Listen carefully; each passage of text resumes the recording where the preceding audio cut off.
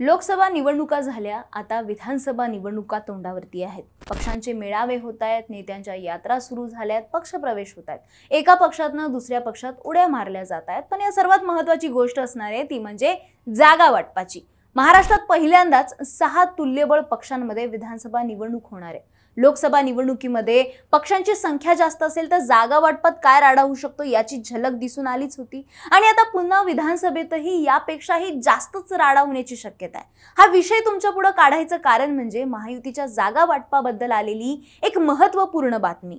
भाजपकडून आगामी विधानसभा निवडणुकीत महायुतीतील जागा वाटप आणि भाजप उमेदवार हे ठरवण्याचे निर्णय घेण्याचे सर्व अधिकार उपमुख्यमंत्री देवेंद्र फडणवीस यांच्याकडे देण्यात आले आहेत. पण त्याचवेळी महायुतीत दोनशे अठ्ठ्याऐंशी पैकी किमान एकशे पन्नास जागा भाजपला सोडवण्याची अट पक्षानं देवेंद्र फडणवीस यांच्यावरती टाकली. थोडक्यात भाजप एकशे पन्नासपेक्षा कमी जागा घेण्याची शक्यता जवळपास नाहीये. मात्र यामुळं मग अजितदादा आणि एकनाथ शिंदे यांच्यासाठी एकत्रितपणे केवळ एकशे अडतीस जागाच उरतात आणि असंच जागा वाटप असेल तर मग लोकसभेसारखं अजितदादा पवार आणि त्यांचा राष्ट्रवादी पक्षच सर्वात लहान भाऊ असेल. नेमकं कसं? पाहूया या व्हिडिओमधून. तर सुरुवात करूया भाजपपासून. भाजपने पुन्हा एकदा देवेंद्र फडणवीसांवरती महाराष्ट्र जिंकून आणण्याची जबाबदारी टाकली आहे. त्यातच भाजप गेल्या दोन्ही निवडणुकीत हा राज्यातला सर्वात मोठा पक्ष ठरलाय.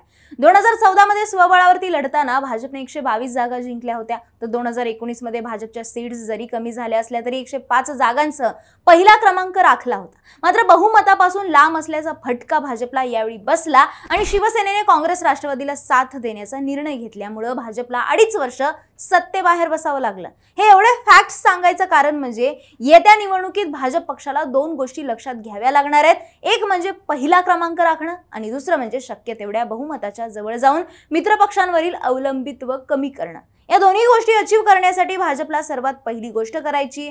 ती म्हणजे जास्तीत जास्त जागा लढवणं. भाजपचा महाराष्ट्र विधानसभा निवडणुकीत सर्वाधिक स्ट्राईक रेट राहिला आहे तो दोन हजार एकोणीसच्या विधानसभा निवडणुकीमध्ये.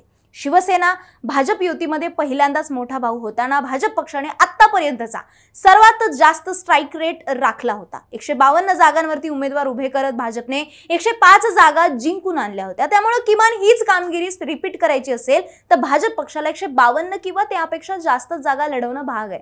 दुसरी गोष्ट म्हणजे अशोक चव्हाण आणि त्यानंतरही काही महत्त्वाचे पक्षप्रवेश भाजपमध्ये होऊ शकतात असं सातत्याने भाजपचे नेते म्हणत आलेत. त्यांना जर निवडणुकीत न्याय द्यायचा असेल तर भाजपला पुन्हा हा आकडा वाढवावा लागेल. थोडक्यात दीडशेपेक्षा एकही जागा कमी लढणं भाजपच्या एकूणच रणनीतीमध्ये बसणार नाही.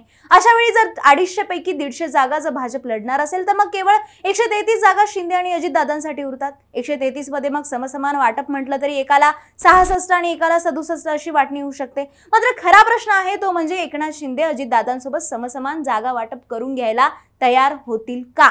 एकनाथ शिंदे यांच्यासोबत सध्या एकोणचाळीस आमदार आहेत. तर अजितदादांसोबत चाळीस आमदार आहेत. म्हणजे सध्या तरी एक आमदार का होईना अजितदादांकडे जास्त आहे. पण या आकड्यांच्या पलीकडे अजितदादा कमी पडताना दिसत आहेत पहिली गोष्ट म्हणजे लोकसभा निवडणुकीत एकनाथ शिंदे यांनी रिझल्ट दाखवून दिलाय.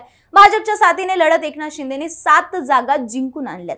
दुसरी गोष्ट म्हणजे उद्धव ठाकरेंनी एकनाथ शिंदे यांच्या बरोबरच्या आमदारांसाठी कायमचे दरवाजे बंद केलेत. त्यामुळे एकनाथ शिंदेच्या समर्थक आमदारांमध्ये घट होण्याची शक्यता कमी आहे. मात्र याच्या उलट परिस्थिती अजित पवारांबरोबरच्या आमदारांची आहे. शरद पवारांनी लोकसभा निवडणुकीतली स्ट्रॅटेजी कायम ठेवत अजितदादांसोबतच्या आमदारांना पुन्हा चुचकारण्यास सुरुवात केली.